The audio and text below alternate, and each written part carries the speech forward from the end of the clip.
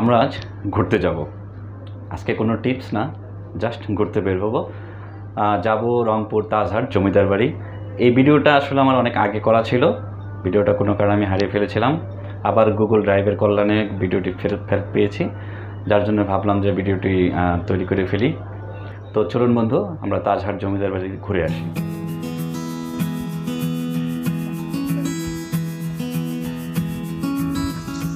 তাজহাট জমিদার বাংলাদেশের রংপুর শহরে অদূরে তাজহাটে অবস্থিত। একটি ঐতিহাসিক প্রাসাদ, যা এখন একটি জাদুঘর হিসাবে ব্যবহৃত হচ্ছে।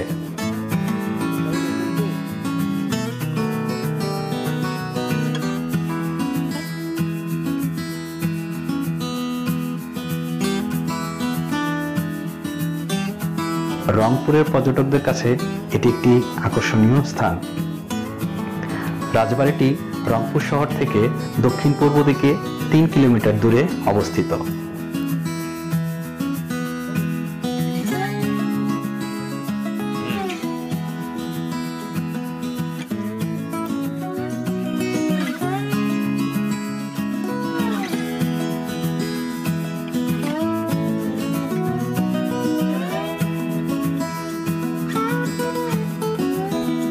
প্রাসাদটি বিংশ শতাব্দীর শুরুর দিকে মহারাজা কুমার গোপাল লাল রায় নির্মাণ করেন।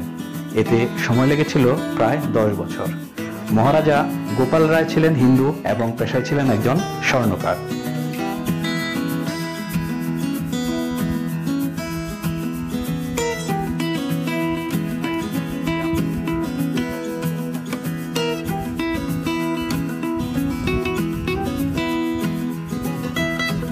কথিত আছে, তার মনোমুগ্ধকর তাজ বা মুকুটের কারণেই এই এলাকা তাজহাট নামে অবহিত হয়ে আসছে।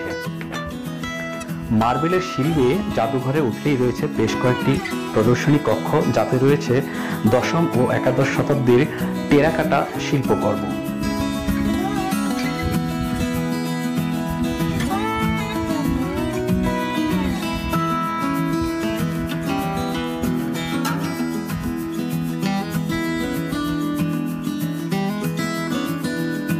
এখানে রয়েছে সংস্কৃত এবং আরবি ভাষায় লেখা বেশ কিছু প্রাচীন পাণ্ডুলিপি।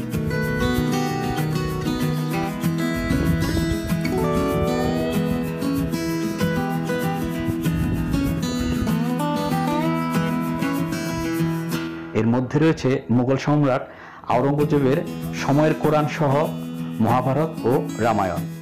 পেছনের ঘরে রয়েছে বেশ কয়েকটা লাল পাথরের হিন্দু দেবতা বিষ্ণুর প্রতিকৃতি।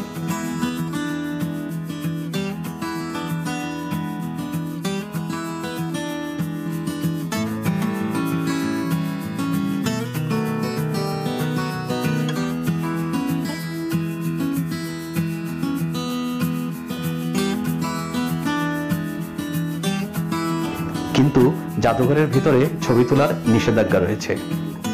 প্রাসাদ চত্বরে রয়েছে বিশাল খালি মাঠ। গাছের সারি এবং প্রাসাদের দুই পাশে রয়েছে দুইটি পুকুর। জাদুঘরের নির্দিষ্ট প্রবেশ মূল্য পরিশোধ করে প্রবেশ করা যায়। প্রাসাদ চত্বরে গাড়ি নিয়ে ঢুকতে চাইলে গাড়ির জন্য রয়েছে নির্দিষ্ট ফি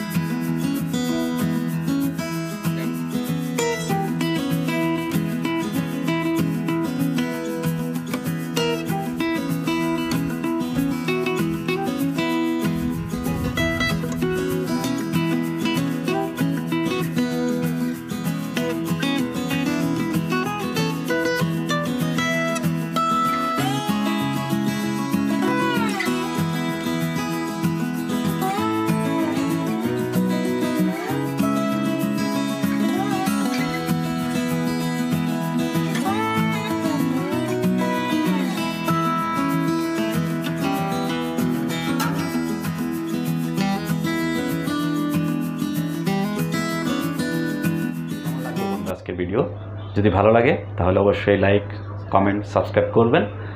আর আমার সাথেই থাকবেন। এভাবে কিছু ট্রাভেল এবং টিক্স ভিডিও নিয়ে হাজির হব আপনাদের সামনে আমি বাবু। যারা আমার চ্যানেল এখনও সাবস্ক্রাইব করেননি, তারা সাবস্ক্রাইব করবেন।